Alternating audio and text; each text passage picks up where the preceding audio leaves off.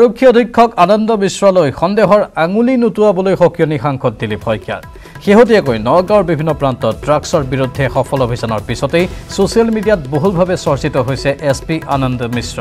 কিন্তু শেহতীয়াকৈ ধুবুৰীৰ D S P Jatin Das drugs বালি শিল আৰু গৰুৰ চিণ্ডিকেটৰ অপৰাধত গ্ৰেপ্তাৰ হোৱাৰ পিছত সেই সময়ৰ ধুবুৰীৰ এছ পি তথা বৰ্তমান নগাঁৱৰ এছ পি আনন্দ মিশ্ৰৰ ওপৰতো সন্দেহৰ আঙুলি টোৱাইছে বিভিন্ন মহলে।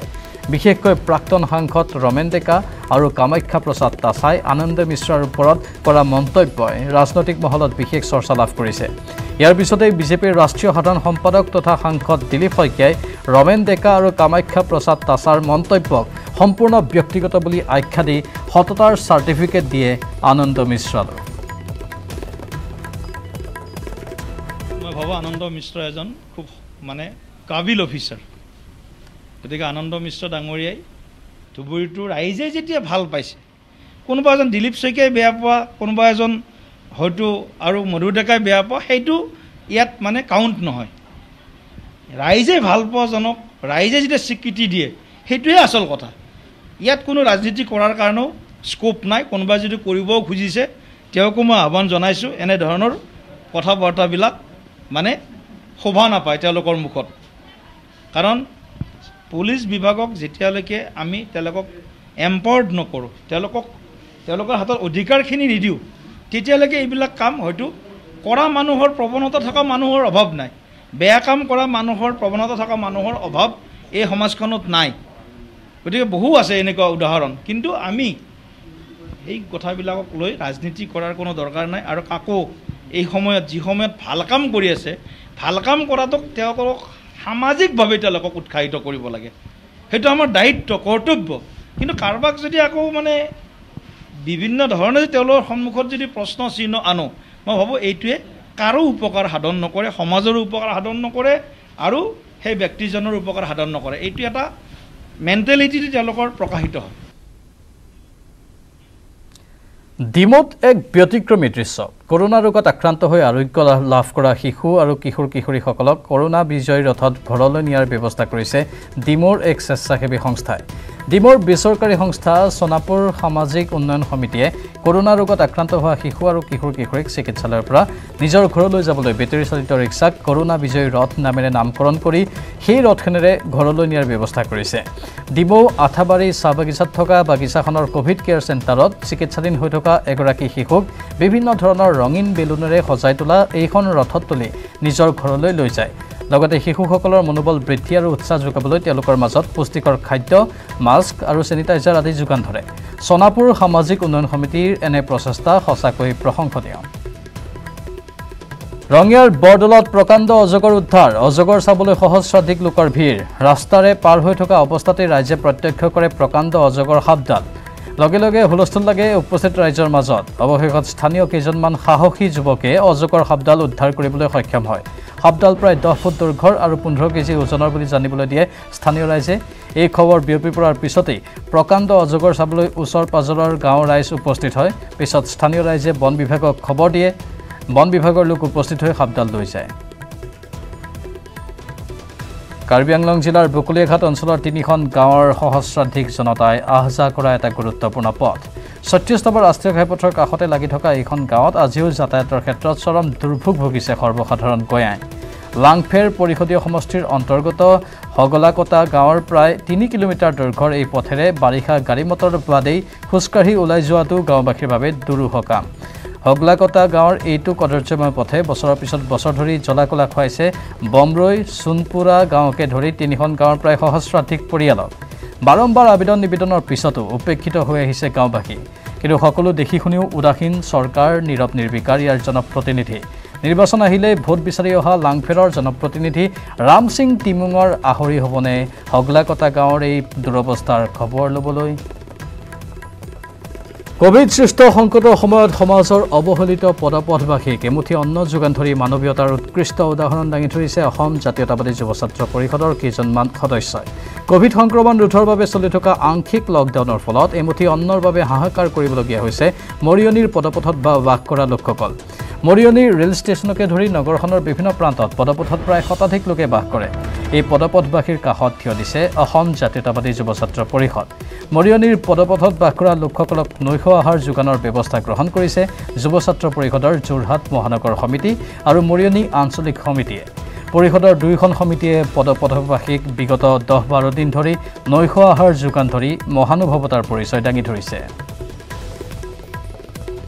গহপুৰত এফালে কৰোণা আক্ৰান্তৰ সংখ্যা দিনক দিনে বৃদ্ধি পোৱাক লৈ চিন্তিত সাধাৰণ জনতা তাৰ সমান্তৰালকৈ বাৰিষা আগমনৰ লগে লগে গৰাখহনীয়া বানপানী বাটপথৰ সমস্যা। গহপুৰ উত্তৰাঞ্চলৰ গৰাখহনীয়া বাটপথৰ সমস্যাৰাজিৰ বুজ ল'বলৈ আলুপাৰা পঞ্চায়তত উপস্থিত হয় গহপুৰ সমষ্টিৰ বিধায়ক উৎপল বৰা। আলুপাৰা পঞ্চায়তৰ সমস্যাৰাজি স্বচক্ষে প্ৰত্যক্ষ কৰি বিধায়কগৰাকীয়ে ক্ষিপ্ৰতাৰে সকলোবোৰ সমস্যা সমাধান কৰাৰ আশ্বাস দিয়ে। বিধায়ক উৎপল বৰাই কয় যে এফালে কৰোণা আনফালে বাৰিষা আগমনৰ লগে লগে ৰাইজৰ সমস্যা এতিয়া সমাধান কৰি আগন্তুক পাঁচটা বছৰত গহপুৰক বানপানীমুক্ত মহকুমা হিচাপে গঢ়ি তুলিব লাগিব। আৰু ইয়াৰ বাবে সকলো ধৰণৰ ব্যৱস্থা ইতিমধ্যে গ্ৰহণ কৰি থকা হৈছে বুলি সংবাদ মাধ্যমক তেওঁ অৱগত কৰে।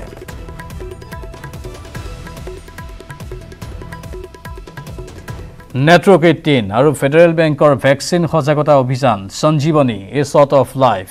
এই সজাগতা অভিযানৰ যোগেদি দেশবাসীক কভিডৰ ভেকচিন ল'বলৈ আহ্বান জনোৱা হৈছে সকলোকে ভেকচিন লোৱাৰ বাবে অনুপ্ৰাণিত কৰাৰ বাবেই প্ৰস্তুত কৰা হৈছে সঞ্জীৱনী অভিযানৰ সংগীত এই মহামাৰীৰ শীঘ্ৰে অন্ত পৰাৰ কামনাৰে আগবঢ়াইছোঁ সঞ্জীৱনী অভিযানৰ সংগীত टीका लगा ओ जरा टीका लगा जब अपनी बारी आए टीका लगा हो ये जो ढाल सी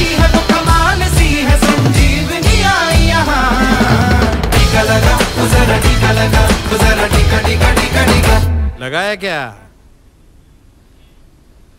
দেশজুৰি ক্ৰমাৎ সুস্থিৰ হোৱাৰ দিশে কৰোণা পৰিস্থিতি সত্তৰ দিনৰ ভিতৰত সৰ্বনিম্ন কৰোণাত আক্ৰান্তৰ সংখ্যা বিগত চৌব্বিছ ঘণ্টাত দেশত নতুনকৈ কৰোণাত আক্ৰান্ত চৌৰাশী হাজাৰ তিনিশ বত্ৰিছজন লোক আক্ৰান্তৰ হাৰ কমিলেও এতিয়াও উদ্বেগজনক দেশত কৰোণাত মৃত্যুৰ হাৰ শুকুৰবাৰে দেশত কৰোণাত মৃত্যু চাৰি হাজাৰ দুজনৰ দেশত বৰ্তমানলৈ মুঠ তিনি লাখ সাতষষ্ঠি হাজাৰ একাশীজন লোকে মহামাৰী কৰোণাত প্ৰাণ হেৰুৱালে বিগত চৌব্বিছ ঘণ্টাত আৰোগ্য হৈ উঠিল এক লাখ একৈছ হাজাৰ তিনিশ এঘাৰজন বৰ্তমানলৈ দেশৰ চৌব্বিছ কোটি ছিয়ান্নব্বৈ হাজাৰ তিনিশ চাৰিজনক প্ৰদান কৰা হৈছে কৰোণাৰ টীকা।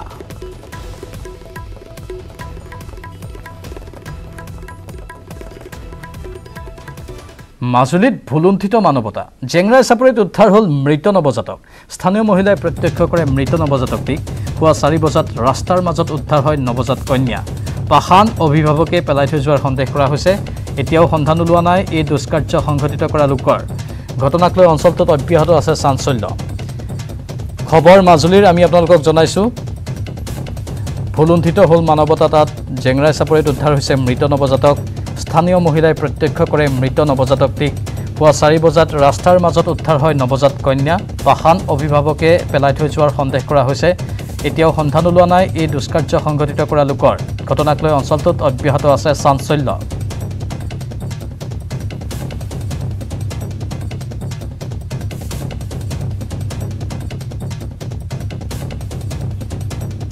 মহানগৰীৰ নাৰেংগীৰ ৰেল লাইনত ভয়ংকৰ ঘটনা সংঘটিত হৈছে। সেনালৈ সামগ্ৰী কঢ়িয়াই অনা ৰেলৰ পাঁচটা ডবা লাইনচ্যুত হৈছে। পথৰ দুয়োকাষে ব্যাপক যান জঁটৰো সৃষ্টি হয়। বহু সময় ধৰি আবদ্ধ হৈ পৰে নাৰেংগী চন্দ্ৰপুৰ অভিমুখী বাহন। ঘটনাস্থলীত উপস্থিত সেনাবাহিনীৰ লোক। আৰক্ষী উপস্থিত আৰু বৰ্তমানলৈকে ৰেল বিভাগৰ লোক কিন্তু উপস্থিত হোৱা নাই বুলি স্থানীয় লোকসকলে অভিযোগ কৰিছে। খবৰ আমি জনাইছোঁ আপোনালোকক। এই ঘটনা সংঘটিত হৈছে মহানগৰীৰ নাৰেংগীৰ ৰেল লাইনত। এক ভয়ংকৰ ঘটনা। সেনালৈ সামগ্ৰী কঢ়িয়াই অনা ৰেলৰ পাঁচটা ডবা লাইনচ্যুত হৈছে। পথৰ দুয়োকাষে ব্যাপক যান জঁটৰ সৃষ্টি হয়। বহু সময় ধৰি আবদ্ধ হৈ পৰে নাৰেংগী চন্দ্ৰপুৰ অভিমুখী বাহন। ঘটনাস্থলীত সেনাবাহিনীৰ লোক উপস্থিত হয় আৰু আৰক্ষী উপস্থিত হৈ বৰ্তমান পৰিস্থিতি অধ্যয়ন কৰি আছে কিন্তু ৰেল বিভাগৰ কোনো লোক উপস্থিত নোহোৱাৰ অভিযোগ কৰিছে।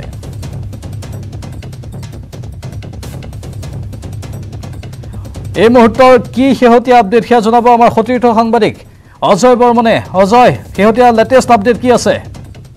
হয় প্ৰাঞ্জল মহানগৰী নাৰেংগীৰ আৰু চন্দ্ৰপুৰ যি সংযোগী ঘাইপথ আছে সংযোগী ঘাইপথতে সেনা যি আমাৰ উম, সেনা শিবিৰ আছে সেনা শিবিৰলৈকে মাল মাল নিয়া এখন এটা ৰেল লাইন চলাইছে ৰেল- ৰেল লাইনতে আজি দিনৰ প্ৰায় বাৰ চাৰে বাৰমান বজাত যি বহিৰাজ্যৰ পৰা সেনাৰ সেনাৰ শিবিৰলৈকে তেওঁলোকে খাদ্য সামগ্ৰীকে ধৰি অন্যান্য অত্যাৱশ্যকীয় সামগ্ৰী লৈ আহিছিল আৰু সেই সামগ্ৰী লৈ অহা ট্ৰেইনখনৰে পাঁচটাকৈ ডবা লাইনযুক্ত হয়। কিন্তু দুৰ্ভাগ্যক্ৰমে ৰেলখন এতিয়ালৈকে বাগৰি পৰা নাই ট্ৰেকৰ পৰা ওলাই অহা নাই। কিন্তু যিকোনো মুহূৰ্তত যদি অনতিপলমে ৰেলখন তাৰ- ইয়াৰ পৰা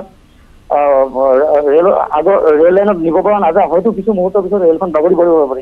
ইতিমধ্যে এই ৰেলখন ঘাইপথৰ মাজতে আবদ্ধ হৈ যোৱাৰ বাবে নাৰেংগী আৰু চন্দ্ৰপুৰ সংযোগী ৰাস্তাটো আবদ্ধ হৈ যোৱাৰ বাবে শ শ যান বাহন ইতিমধ্যে ৰাস্তাই ভিৰ আছে ৰৈ থাকিবলগীয়া হৈছে আৰু এই এইকাৰণে এটা অভাৱনীয় পৰিস্থিতিৰ সৃষ্টি হৈছে। আৰু ইতিমধ্যে এটা কথা উল্লেখ কৰিব লাগিব যে ৰেলখন প্ৰায় আধা ঘণ্টাৰ আধা ঘণ্টা হৈ গ'ল ৰেলখন ইয়াতে ৰৈ থকা। কিন্তু ৰেল বিভাগৰ দুৰ্ঘটনা সংঘটিত কিন্তু ৰেল বিভাগৰ লোক ইতিমধ্যে এই স্থানলৈকে অহা নাই। কিন্তু আৰু সেনা বিভাগৰ সেনাৰ লোক আহিছে সেনাৰ লোক আহিছে কিন্তু সেনাৰ লোকে আমাক কিন্তু সেই স্থানলৈ যোৱাত বাধা আৰোপ কৰি আছে প্ৰাঞ্জল অজয় বহু সময় লাগিব হয়তো কিন্তু যিসমূহ যান বাহন সেই পথৰে অহা যোৱা কৰি আছে বা যাৰ জৰুৰী কাম আছে বা এম্বুলেঞ্চ যদি তাত আবদ্ধ হৈ পৰে বৰ ডাঙৰ কথা হ'ব। হয় নিশ্চয় প্ৰাঞ্জল এটা কথা উল্লেখ কৰিব লাগিব যিহেতুকে এইটোৱে একমাত্ৰ পথ। নাৰেংগী চন্দ্ৰপুৰ সংযোগী একমাত্ৰ পথ। আৰু এই পথটো ইতিমধ্যে মই কৈছোঁ প্ৰায় আধা প্ৰায় এঘণ্টা হৈ গ'ল ৰেলখন ইয়াতে আবদ্ধ হোৱাৰ কাৰণে। আৰু ৰেলখন ৰেলখন মূল ৰাস্তা ৰাস্তাটো আবদ্ধ হৈছে। গতিকে নাৰেংগী চন্দ্ৰপুৰ সংযোগী যি পথত প্ৰায় শ শ যান বাহন ইতিমধ্যে আবদ্ধ হৈছে হয়তো জৰুৰীকালীন সেৱাৰ বাবে যোৱা লোকসকল এতিয়া আবদ্ধ হৈ থাকিব লাগিব। যদিও অনতিপলমে ৰেলখন ইয়াৰ পৰা উঠাই নিয়াৰ বা ৰেলখন ইয়াতে উদ্ধাৰ কৰাৰ ব্যৱস্থা ইতিমধ্যে যদিও নকৰে কিন্তু দুৰ্ভাগ্যজনক কথা যে বহুতো বহু পলমকে হ'লে এই মুহূৰ্তলৈকে ইয়াতে ৰেল লোক অহা নাই। আহ, সেনা শিবিৰৰ লোক আহিছে সেনা শিবিৰৰ লোকে স্থান পৰিদৰ্শন কৰি আছে। তেওঁলোকে হয়তো কোনো ধৰণৰ এতিয়ালৈকে তেওঁলোকে কি কৰিব কি নকৰিব কোনো লক্ষ্যত উপনীত হ'ব পৰা নাই প্ৰাঞ্জল নিশ্চয় ইয়াৰ বাবে প্ৰফেচনেলছ লাগিব। যিকোনো মানুহে আৰক্ষীয়ে হওক সেনাবাহিনীয়ে হওক তেওঁলোকে কৰোঁ বুলি একো কৰিব নোৱাৰে। যিসকলৰ এয়া পেচা যিসকলে এই কামসমূহ কৰে যিসকল টেকনিকেল লাইনৰ এই সমগ্ৰ বিষয়টো চোৱা চিতা কৰাৰ ক্ষেত্ৰত তেওঁলোক আহিয়েই এই সমগ্ৰ বিষয়টোৰ সমাধান সূত্ৰ উলিয়াব লাগিব। কিন্তু এতিয়ালৈকে আহি পোৱা নাই সেইটোৱে সবাতোকৈ দুৰ্ভাগ্যজনক বিষয়। আৰু জৰুৰীকালীন সেৱাত বিশেষকৈ এম্বুলেঞ্চ যদি সেই পথেদি আহিব লগা হয় তেনেহ'লে এক ভয়ংকৰ অৱস্থাৰ সৃষ্টি হ'ব। সময় থাকোঁতে এই পদক্ষেপ ল'ব লাগে। এঘণ্টাতকৈ বেছি সময় হৈ গৈছে। এতিয়ালৈকে কিয় ৰেল বিভাগৰ লোক উপস্থিত হোৱা নাই? সেইটো ডাঙৰ প্ৰশ্ন হিচাপে বিবেচিত হৈছে। অজয় লাইনত থাকিব আপুনি। আমি এই খবৰটো ধাৰাবাহিক ৰূপত জনাই থাকিম দৰ্শকসকলক।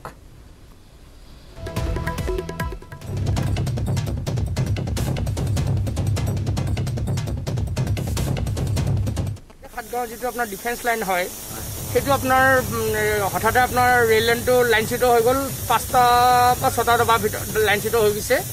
যিটো কাৰণে আপোনাৰ গোটেই সাতগাঁৱৰ যিটো চন্দ্ৰপুৰ নাৰেংগী চন্দ্ৰপুৰত এইটো ব্লক কমপ্লিটলি ব্লক হৈ গ'ল।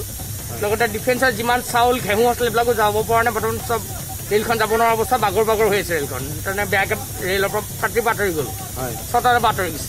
কেইটা দবা? ছটামান হ'ব দবা। এইটো বহুত যান জঁট সৃষ্টি হৈ আছে।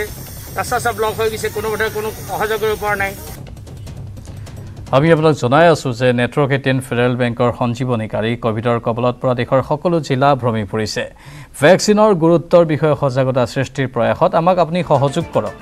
আমাৰ সঞ্জীৱনী গাড়ীখন গাড়ীখন আজি ক'ত আছে এবাৰ চাওঁ আহক।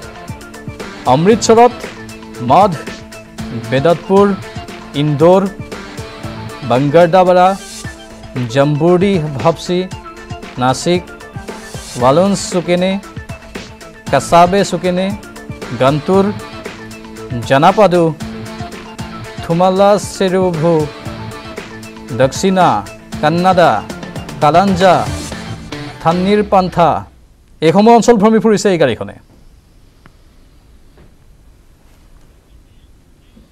এইবাৰ মন্দিৰ অথবা সত্ৰৰ ভূমি নহয়। চৰকাৰৰ কৃষি পাম নিগমৰ চাৰি হাজাৰ বিঘা ভূমি বেদখলকাৰী কবলত পৰিছে। একাংশই বেদখল কৰি স্থাপন কৰিছে গাঁও বনাইছে ব্যৱসায়িক প্ৰতিষ্ঠান। ঊনৈছশ পঞ্চাছ চনতে স্থাপন হোৱা এই কৃষি পামখন যোৱা পঁচিছ ত্ৰিছ বছৰৰ পৰা বেদখল হোৱা আৰম্ভ হয় আৰু এতিয়া প্ৰায় সম্পূৰ্ণ বেদখলকাৰী কবলত বৃহত্তৰ এলেকাটো। গোৱালপাৰা জিলাৰ মাটিয়া ৰাজচক্ৰৰ অন্তৰ্গত বাকাইতাৰী চিধাবাৰী কৃষি পাম নিগম। এটা সময় আছিল য'ত অঞ্চলটোৰ শ শ কৃষকে এই কৃষি পামত বছৰটোৰ ভিন্ন সময়ত ইচ্ছা অনুসৰি কৃষিকাৰ্য চলাই গৈছিল। কিন্তু এতিয়া কৃষি পামৰ চৌদিশে বেদখল। গাঁও গঢ়ি উঠিছে পামৰ ভিতৰত। থকা ঘৰৰ লগতে বেদখলকাৰীসকলে গঢ়ি তুলিছে ব্যৱসায়িক প্ৰতিষ্ঠান। স্থানীয় ৰাইজে বিগত সময়ত বহু আবেদন নিবেদন কৰিলে যদিও একো কামত নাহিল। সেয়ে ৰাইজৰ আহ্বান মুখ্যমন্ত্ৰীলৈ কৃষি পামখনক বেদখলমুক্ত কৰিব লাগে।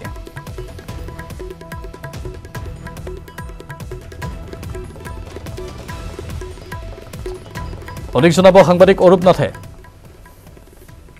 নতুন চৰকাৰ গঠন হ'ল মুখ্যমন্ত্ৰী সলনি হ'ল। আৰু তাৰ পিছতে আমি দেখিবলৈ পাইছিলোঁ যে সত্ৰ মন্দিৰ মঠ মন্দিৰকে ধৰি যিবোৰ মাটিত আচলতে বেদখল হৈ আছিলে সেই বেদখল মুক্ত কৰাৰ কাৰণে ইতিমধ্যে তৎপৰতা ব্যৱস্থা গ্ৰহণ কৰিছে ৰাজ্য চৰকাৰখনে। কিন্তু ঠিক একে সময়তে দেখিবলৈ পোৱা গৈছে বিভিন্ন চৰকাৰী অনুষ্ঠান প্ৰতিষ্ঠানৰ যি মাটি আছে যি ভূমি আছে সেয়া কিন্তু এতিয়াও